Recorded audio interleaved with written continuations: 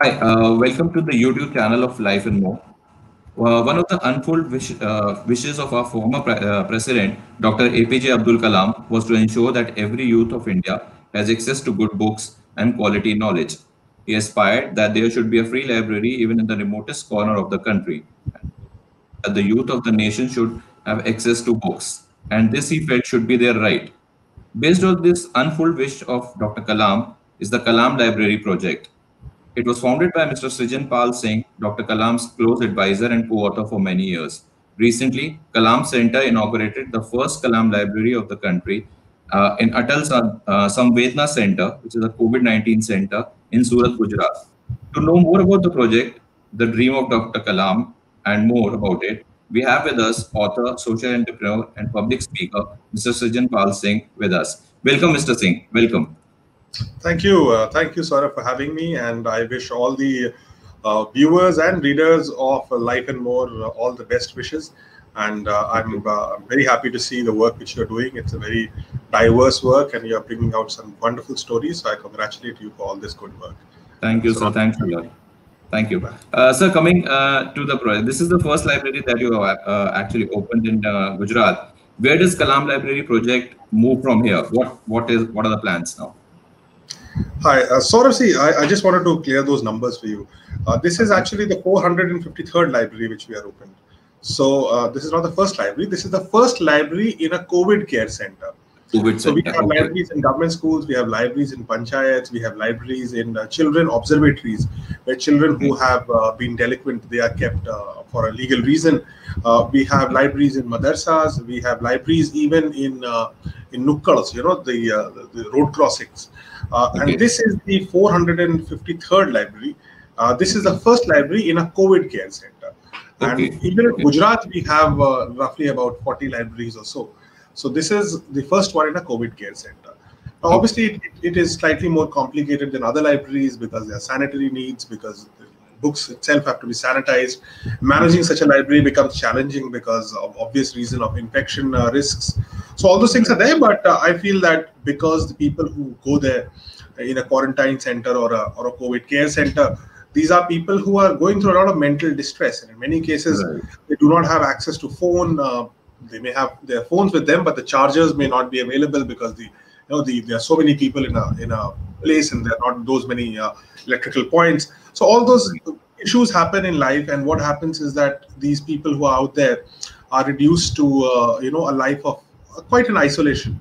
You know, uh, they're not used to this. I mean, these are ordinary citizens, often uh, or people of age, and uh, they are used to a social environment. They're used to talking to people. It's their is that's how they operate and right. as they say that you know in a, your your body is healthy only when your mind is healthy and if your body is to recover uh, your mind has to be happy healthy and in a way uh, satisfied that you know something good will happen and for that to happen we thought that these people need when they go into covid center obviously they are healing their body but there's a lot of anxiety and if uh, this anxiety we could reduce it by telling them that while you are in a covid center you can read you can learn new things uh, maybe discuss about books with each mm-hmm. other opening that discussion is very very important. Everybody's scared of each other. I agree right? i agree. So you have to maintain social distance. Now you don't know what is your virus load what is his virus load. You don't want to be close to but this this is the only person you have for the next 14 days the, the guy on your next bed. And you you need to open a conversation topic. So i thought you know this is something which we could do. Now you can't have televisions there because obviously the sound cannot go to everyone. Uh, some people like sound some people gets, gets very difficult. That is the reason we started doing this uh, and uh, as you would uh, understand it, it's more challenging than opening a library in a school for obvious reasons. Right. mm-hmm. so and how, how challenging? How how did you spot that you wanted to open the first one say in gujarat and you you pointed out to that particular covid center in the country and uh, how much time did it actually take you to uh, from from thinking about it to actually getting it uh, on on board? See, actually, there are uh, usually the usual process of a library is, is relatively easy. You take a permission from a school, uh, usually from a principal to set up a library. They nobody denies. We get the books, we put it up. We don't charge the school anything. Uh, so our volunteers are there who manage all this. They, we even send people who can read those books out to children. Now, all that is slightly different when you do it in a COVID center because in a COVID center, you need the government's permission first. So the government has to permit it.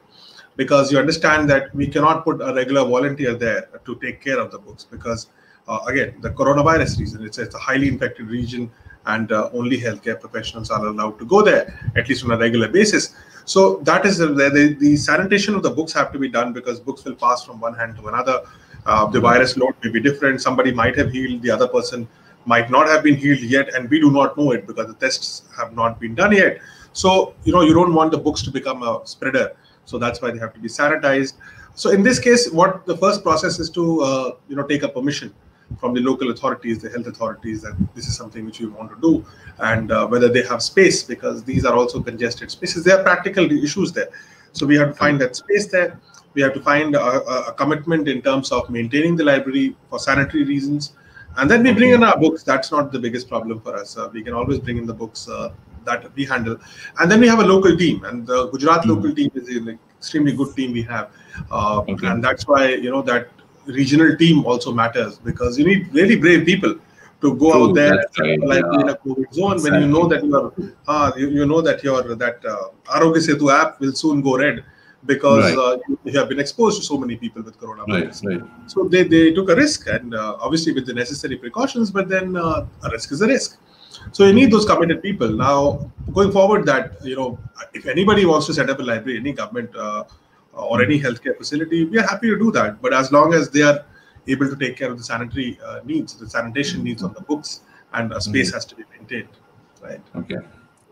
And any any challenges that you are facing in the implementation of the project, apart from what you were talking about, uh, in terms of reaching out to uh, such the government, for example, any red tapeism? Uh, basically, that's what I am wanting to get to.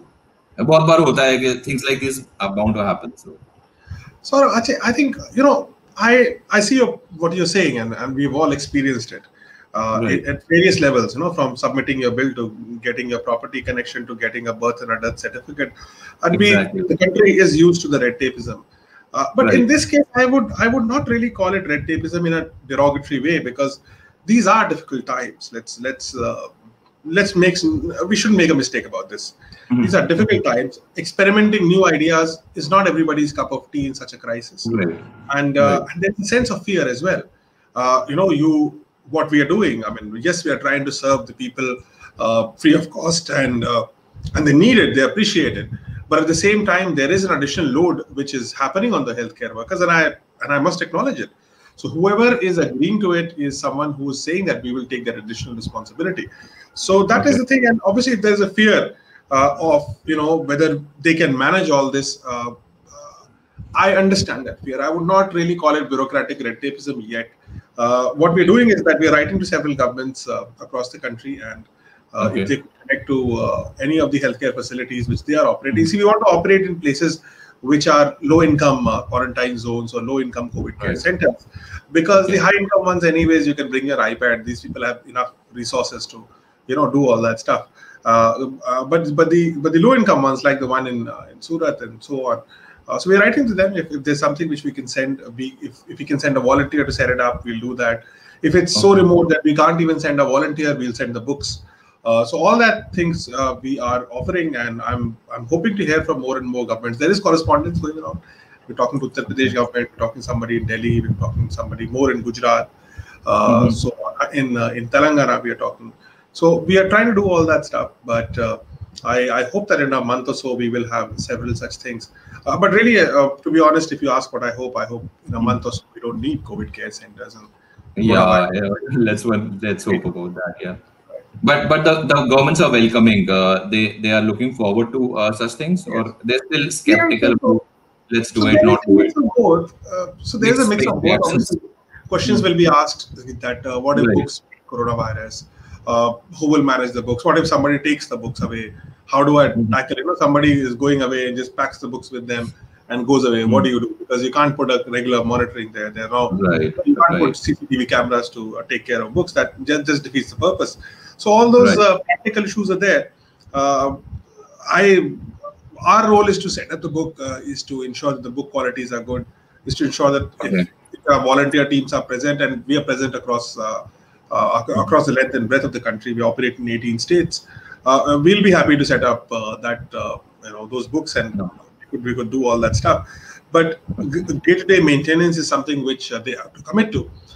so Right. most of most of the people are are happy to hear the idea, uh, happy to probably think of participating, but uh, Mhm. I'm, I'm waiting for more people to take a leap and uh, Okay. and get into the actual work of setting up a library. Okay.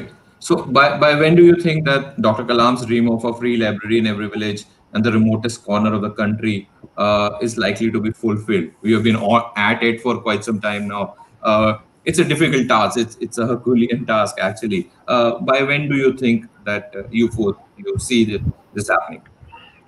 So Ravi, see, Dr. Kalam used to say something. You know, when you aim a uh, when you make a difficult aim in life, you know, high aim in life, Right. there will be difficulties, there will be problems.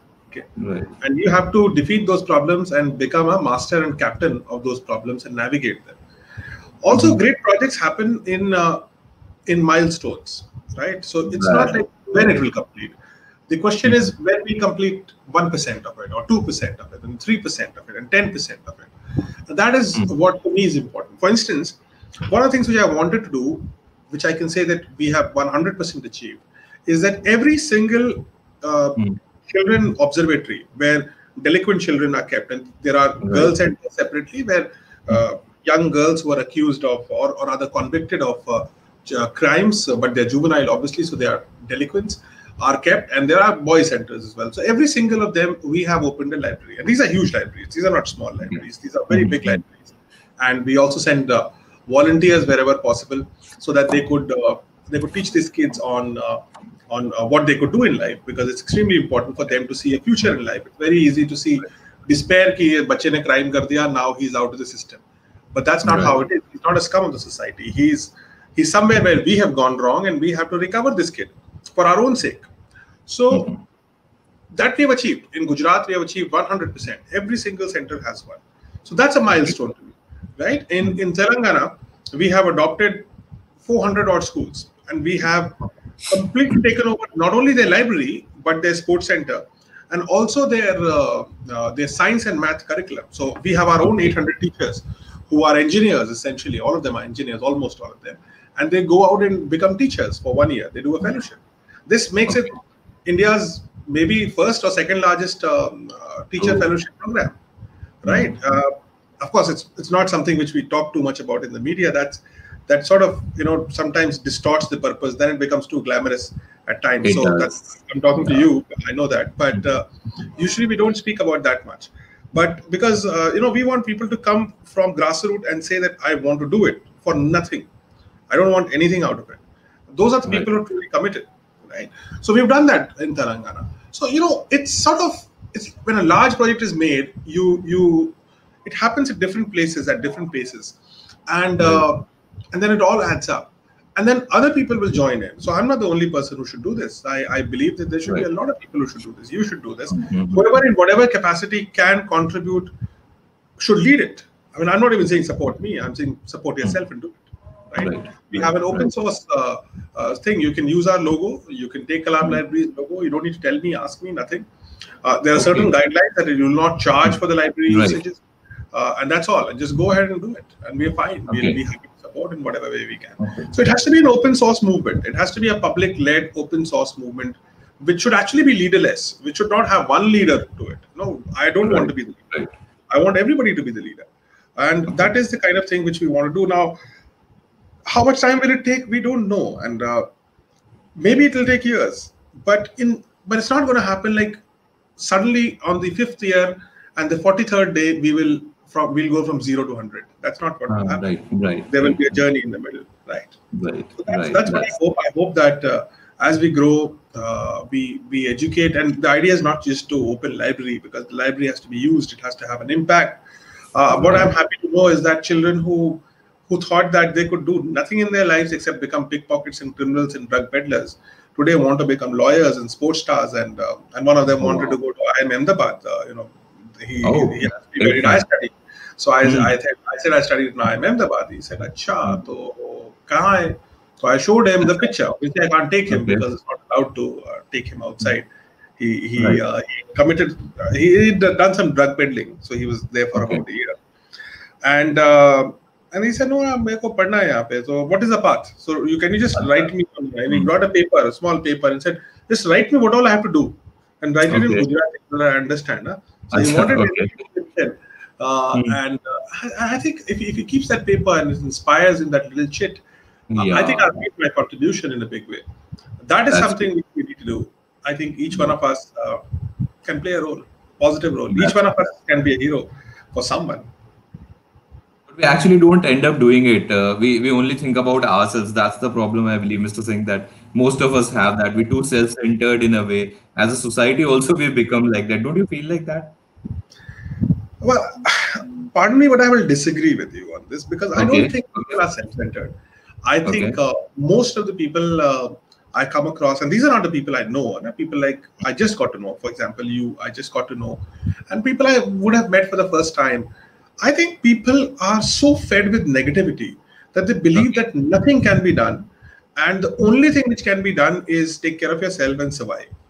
That's the general sentiment, which I think uh, you know popular media has played in, popular cinema has played in. You know, the, the if, if you were a if you were an alien and you just watched Indian news and you just watched the cinema, and not just India, even in the world actually, it's not really. Mhm. Maybe some countries like Israel and all have a very different media network. But if you were to just understand this country with watching the news of this country, or reading the news of this country, or watching the cinema of this country, you'll get a very negative outlook of this country. You'll feel that this country is just gone to the gutters. Yeah, yeah, But yeah. that's yeah. not what it is. But there are there is no space for good work. Why don't we celebrate good things? Why don't we talk Right. about not about all the things which have gone wrong? Yes, there's a space for it.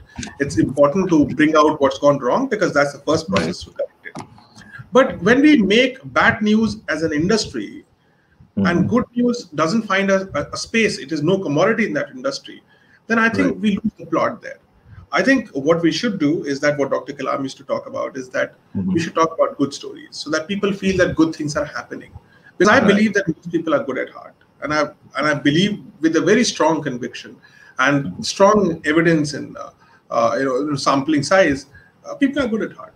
It's not that Okay. every nobody is hundred percent perfect. Let me tell you this, and nobody is nobody's perfectly imperfect as well. So nobody's hundred percent bad. Nobody's hundred percent good. We have an element of goodness and an element of jealousy, greed, and whatever else you talked. Uh, it is also there. Now, Okay. our role as society makers, as as people who can shift the society, you can do it through media. Uh, Right. I can through whatever I do, and everybody can do that in, in some way or the other. Is to ensure that, especially in the younger ones, we nurture the good part of it, and that good part itself will take care of the bad part in everyone's character. And the Right. and the best thing is that we're not doing it for so that they can do good work for society. I would do that because I want them to be happy. And true happiness lies only when you have freedom, only when you have integrity, only when you can sleep well, not thinking, ki, oh, this wrong thing I did, what if I'm caught there? As long as you can sleep peacefully, as long as you can spend time with your family, as long as you feel happy about yourself, you know, when you wake up in the morning, you feel like I did something good last night, or yesterday I did something good. Today, what good will I do? And that is there. Now, not everybody has to become a 100% time social worker, but we mm-hmm. can devote maybe 15 minutes or 20 minutes, like an exercise, like meditation. We need Right. emotional meditation by being nice to people, by being good to people, by by doing things without expectation of getting anything back do it for 15 minutes. It's like an act of meditation. No meditation heals your mind. Exercise mm. heals your body. What heals your emotions? It's okay. only when you talk about what can i give what can i do well uh, for someone else. I think most people would resonate with that idea. It's only that there's very little trigger to it. Otherwise socho aap chota sa thing goes wrong in this country and mm. you've got so many people to support. Like gurudwaras will open. You you start eating regardless of your community. You can eat here. There'll be uh, there'll be uh, X community serving Y community, Y community serving X community, while the other people are fighting within the same community. Uh, right, So I, I right, yeah. this country is beautiful. Like, uh, and you know, people have taken. There was one story, for instance, of of a doctor who who had to give a resuscitation to a coronavirus patient, and the doctor eventually Oh. lost his life. Uh, but he did it because he thought it's his responsibility. Now that Yeah. story didn't become a hero. That person is a hero, and he lost his life. Right. And Yeah. what we should have put his face and name on the front page of every newspaper.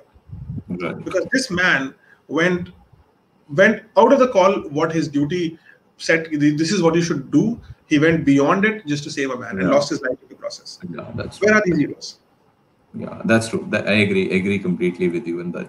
And that Uh, boy is a kashmiri boy by the way okay. the doctor is a kashmiri kashmiri doctor he's, he's kashmiri Okay. origin and his Oh. father you know what he said he said that okay i'll lose my one son i will give uh, every son to serve the society and the nation and that's beautiful Such a big thing. Very Yeah, that's a story. i beautiful want that story Yeah. to come out right Uh, that that's the saddest part. Ki, is things like these, actually, the stories like these are very limited. They don't get the, the kind of attention that they ideally should be getting, as you said. It Yeah, absolutely. never does. Yeah, that's that's the saddest part.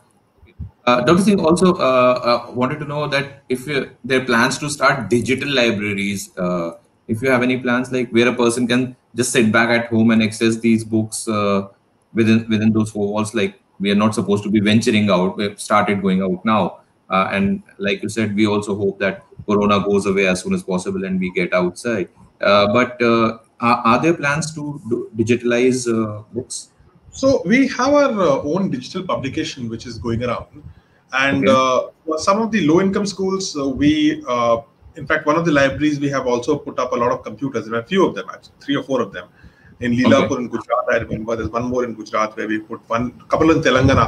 Uh, in government schools where we have computer facilities, uh, we have put our own books, uh, uh, which uh, which are available on those computers for kids to read, so that they can spend more time on computers. So we and these books we publish ourselves. So uh, so we can you know happily give it. We have arrangement with the author where the author is pro bono the publication itself is pro bono so that we don't Mhm. have copyright issues and we can put it up. Uh, we on the the kind of so this is for the low income people uh, you know whose children uh, whose whose parents do not have enough income. Uh, we also did a couple of such libraries in uh, this uh, children observatory. One of them i remember in ahmedabad we had inaugurated. The second one was in Okay. So we they had a computer and we basically gave them digital content the Okay. issue of uh, uh, trying to do that on a large scale is because of the copyright issues because Okay. you cannot give uh, i cannot distribute books uh, uh, you know which are published by mainstream publishers uh, Right. because there are copyright issues but that's to, to sort of go around it or rather to you know sort of take care of that we have our own publication where we have pro bono authors these authors do not charge anything the arrangement is that uh, they will just give it's, it's like a freebie you know you, you just take it Okay. as many copies as you want and as Okay. publication publications are the digital copies we do not charge anything. So it's free of cost. So it's a completely Okay. free of cost arrangement which uh, anybody can uh, avail. But right now what we're focusing on is on books and the quality of the language and the, the content the complexity of the book is suited more for children at government school because i think that is the segment i want to cater right now. Uh, Right now, people who have ipads who have computers well you have so many libraries which you can anyways get access to and they're Mhm. pretty cheap i mean if you can own an ipad you can definitely take a subscription of a thousand rupees Yeah, that's true. which are commercially available. Uh, but if anybody wants to read our set of books, uh, if you want to reflect on it, uh, uh, we, we can get it available. That's not a problem, and that's free of cost. Okay. So no. Okay. Okay. Uh, so also, uh, Dr. APJ Abdul Kalam Center works on integrated missions across multiple dimensions. The ba- the basic idea, the effort is to continue on the vision and the works uh, of Dr. Kalam. So, can you kindly brief our readers and uh, viewers on the path-making efforts that are work are, are happening on that front? Yeah. So see, uh, you're right. So what we do is that Dr. Kalam stood for several ideas, and one of them was innovations in governance. So we work uh, across India, several states and state governments, uh, and also central government. We work Right. with uh, how to innovate the government, how to make it agile, how to use technology, how to use things like say blockchain, X road, those kind of technologies which are path breakers, and to the process of governance, and how that could be translated to some benefit for the common man. So that is one of the works. Uh, you know, innovations in governance is one of the work we do. We do uh, a lot of work. Obviously, you saw the library project in education. I told you about the teacher project where we adopted Right. about 400 odd schools with 800 teachers. So that is something which we do. Uh, we also discussed, uh, uh, you know, no, we probably did not. We, we work a bit on environment. We work uh, uh, some of the things which we do on healthcare as well. We do significant work on economic empowerment of uh, marginalized segments. For Okay. instance, during the coronavirus crisis, uh, we are we have provided food to about half a million people now. Half a million, uh, rather, Oh, wow. half a million lunches were served. Now, whether Okay. they were unique people or not, that is, I would not Mhm. claim that. But one, uh, 500,000, well, 5 lakh uh, lunches Okay. were served, uh, packets, food packets were distributed, and and then 60,000 families uh, were given uh, rations for a month, and they're still on Okay. our support. That's huge. So that's separate. So we, we, we, we've been doing that, and that is across you know small remote areas. You've not even heard of things like Netala, for instance, in Uttarakhand. Oh. We work there. Hmm. Now, Netala is a place uh, where a lot of people who used to work in those temples, you know, Uttarakhand has Okay. got so many important temples, and people That's used to right, work yeah. there, hospitality, drivers, working in shops, restaurants, or you know, Mhm. cleaning, all that stuff, hotels, and all this stuff was basically abandoned because nobody is going to travel Right. these. Nobody, the, the footfall in the temples are low. So whenever they, uh, so they went back to their houses with absolutely nothing. So we are now giving them uh, the ration supplies. We're taking care of such villages in Netala, that area. We're taking care of that. We're doing significant work in Madhya Pradesh because that happened to be, uh, you know, when people would travel from Maharashtra to Uttar Pradesh, uh, Madhya Pradesh would be their destination I'm in the middle between, yeah. like Right, right. point. So many of them were abandoned there. I mean, these, these were desperate travelers. They were abandoned there, so we had to take care of them, and they were out on the roads. So we we served them food for about 45, 50 days, and that went on. So that uh, and then in the process, what we did is that we've created a lot of people who lost their jobs. We have got them some temporary job at least to cook. So they are operating. Okay. So this whole thing uh-huh. has spawned a lot of entrepreneurs. They're food entrepreneurs Right, right, who are, right. who are operating. So in, in Gujarat, for example, there are women groups who are now making theplas for us. You know, Acha, thepla is a, okay. like, a, like a- paratha. Yeah, yeah, yeah, no. I know, I know. You're, you, you, you're aware of it. And then that is. So it doesn't it doesn't disintegrate so well. So it takes Right. you know it's got a shelf life It's just natural shelf life is quite high. So we are we are using them. So that is something which we do as well. Then we work across campuses. We have volunteering programs. Uh, we have education programs for college students. We operate India's largest uh, startup center in North India. Sorry, Okay. not India. North India's largest startup ecosystem. We have about 10,000 square feet of uh, uh, incubation space, uh, which we have tied up with uh, Dr. Kalam University, and uh, we operate that in Lucknow. And uh, so there are several projects which uh, touch upon Dr. Kalam's ideas. Uh, I would encourage any one of the viewers to have a look at our website. It's www.kalamcenter.com. Center is spelled as C E N T R E. So dot com. You can have a look at it, and uh, and we welcome anybody who uh, who wants to work uh, with us. You know, to take Dr. Kalam's vision forward. That is something which we hope to do. Right. Okay. Uh, so on a, on a personal front, uh, your book, The Black Tiger, was actually an honest attempt at providing solutions for corruption. Uh, honestly, do you think yeah, the corruption uh, factor, which has always been there, will ever leave the face face of the country first and and the land next? Corruption, kind is a of cancer. cause- corruption is like a cancer. Okay, Okay. and this cancer, unless you take care of this by by chemotherapy or whatever you know radiotherapy, Right. unless you remove this corruption animal from the roots of this country, and it is Right. spreading, as you said, right? Uh, even if somebody tries to stop it, you don't stop it. uh, You don't make it ne- go negative. You just stop the pace of it, and this corruption is growing, and uh, and it's it's really affecting the common man for a very very long time. I mean, I think this decade, the beginning of this decade, saw that abbas ho gaya you know that is when uh, the Anna Hazare movement and all that things started happening. And just showed that people were just too tired of it. And mm. there there are issues of corruption in birth certificate, hai, chalo. but there are issues of corruption in death certificate. Uh, that's the plight of a person when you lose someone and then you have to pay some, pay money to, to to get a certificate from the government that the person is gone. Yeah, and it hurts. Those are things which which leave you know us we have to create a country where the citizens are proud to live, and the Hmm. citizens will be proud to live in a country only when the corruption is low or zero. Now, I understand that corruption-free India doesn't mean zero corruption India. It would be a reduced corruption India, and wherever there is corruption like a cancer, we will take care of it. But Hmm. organized corruption has to be taken care of, right? Right. when it's Right. inbuilt into the system when you have when the corruption is built into the tender and it is built into the tender process everything Right. is rigged and then how do you create a country where entrepreneurs can thrive by taking government as a market and government is a huge market it's a Yeah, it's a huge country huge government Yeah, so how do you operate it right Hmm. and if you don't do that then you're killing the entrepreneurial spirit of so many young Indians and also people who are mentally young, Right. who, Right. who even at age want to do something new, right? How do you do that?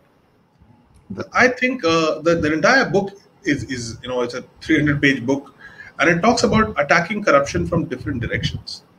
And if you ask me, one thing which we must absolutely look at to begin with is to look at whether we are implementing Article 32, which is the right to constitutional remedy.